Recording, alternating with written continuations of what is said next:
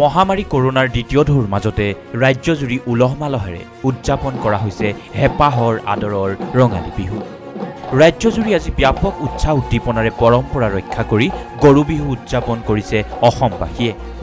ৰঙালীৰ এই পাৰ ভঙা আনন্দ উল্লাসৰ মাজতে ক্ৰমাৎ ভয়াৱহ ৰূপ ধাৰণ কৰিছে মহামাৰী কৰোণাৰ দ্বিতীয় ঢৌৱে বিগত চৌব্বিছ ঘণ্টাত ৰাজ্যখনত নতুনকৈ পাঁচশ নব্বৈগৰাকী কভিড নাইণ্টিনত আক্ৰান্ত হৈছে।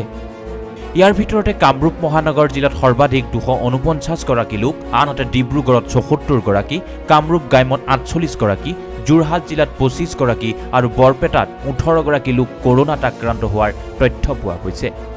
তাৰ সমান্তৰালভাৱে ৰাজ্যত অব্যাহত আছে কৰোণা ভেকচিন প্ৰদানৰ কাৰ্যসূচী। তেৰ এপ্ৰিললৈ ৰাজ্যখনত পোন্ধৰ লাখ তেৰাল্লিছ হাজাৰ ছশ চৌষষ্ঠিগৰাকী লোকক কভিডৰ ভেকচিন প্ৰদান কৰা হৈছে। ইয়াৰ বিপৰীতে বাৰ লাখ এসত্তৰ হাজাৰ চাৰিশ চৈধ্যগৰাকীক ভেকচিনৰ প্ৰথম পালি আৰু দুই লাখ বাসত্তৰ হাজাৰ দুশ পঞ্চাছগৰাকীক দ্বিতীয় পালিৰ প্ৰদান কৰিছে। আনহাতে ৰাজ্যত কৰোণাৰ দ্বিতীয় ঢৌৰ প্ৰতি লক্ষ্য ৰাখি পৰীক্ষাও দ্ৰুতগতিত বৃদ্ধি কৰা হৈছে। তেৰ এপ্ৰিলৰ দিনটোত ৰাজ্যত ঊনষাঠি হাজাৰ তিনিশ দহগৰাকী লোক কভিডৰ টেষ্ট কৰা হয় আৰু ইয়াৰে পাঁচশ নব্বৈগৰাকীৰ দেহত কভিড নাইণ্টিন পজিটিভ পোৱা যায়। কভিড নাইণ্টিনত আক্ৰান্ত হৈ মঙলবাৰে মৃত্যু হয় এজন লোকৰ। এতিয়ালৈ ৰাজ্যত কভিড নাইণ্টিনত আক্ৰান্ত হৈ এহেজাৰ এশ ঊনৈছগৰাকী লোকৰ মৃত্যু হৈছে। উল্লেখযোগ্য যে দুহেজাৰ বিছ চনৰ একত্ৰিছ মাৰ্চত অসমত প্ৰথম কভিড ৰোগী ধৰা পৰিছিল। বিগত বৰ্ষৰ শেষৰ ফালে কভিডৰ সংক্ৰমণ ক্ৰমাৎ বৃদ্ধি পাইছিল যদিও বিধানসভা নিৰ্বাচনৰ পাছৰ পৰা পুনৰ বৃদ্ধি পাব ধৰিছে কভিডৰ সংক্ৰমণ। বৰ্তমান দৈনিক শ শ লোক কৰোণাত আক্ৰান্ত হৈছে। কৰোণা সংক্ৰমণৰ প্ৰতি লক্ষ্য ৰাখি ৰাজ্যৰ স্বাস্থ্য বিভাগে শেহতীয়াকৈ কেতবোৰ বিশেষ ব্যৱস্থা গ্ৰহণ কৰিছে। ৰাজ্যৰ সৰ্বত্ৰ এতিয়া ৰঙালীৰ উখল মাখল পৰিৱেশ। ৰাজ্যবাসী ৰঙালী ৰঙত মতলীয়া হৈছিল।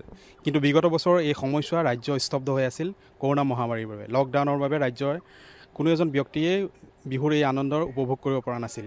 এইবাৰ ৰাজ্যবাসীয়ে বিহুৰ আনন্দক উপভোগ কৰিছে যদিও কৰোণাৰ দ্বিতীয় ঢৌৱে এক নতুন আন এক পৰিৱেশৰ সৃষ্টি কৰিছে।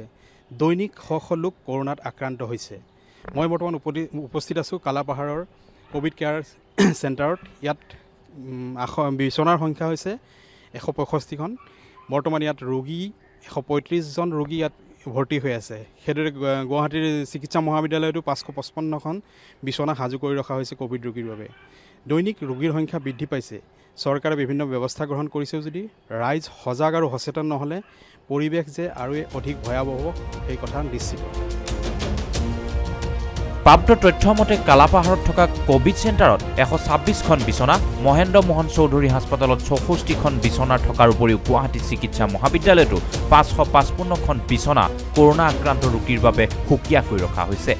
মহেন্দ্ৰ মোহন চৌধুৰী হাস্পতালতো কভিড ৰোগীৰ বাবে বিচনাৰ সংখ্যা বৃদ্ধি কৰাৰ ব্যৱস্থা আছে।